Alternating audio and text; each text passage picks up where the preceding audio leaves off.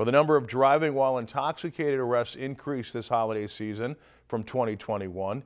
Minnesota law enforcement's holiday campaign against impaired driving saw over 2,200 DWI-related arrests thanks to extra patrol vehicles on the road. From the southernmost part of the state to the Canadian border, officials saw various examples of the dangers of impaired driving.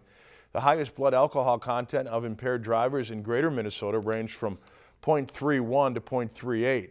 In addition to alcohol, a DWI also can be caused by abuse of prescription drugs, THC edibles, and illegal substances. The campaign started on November 23rd and ended on New Year's Eve as part of the Towards Zero Deaths traffic safety program.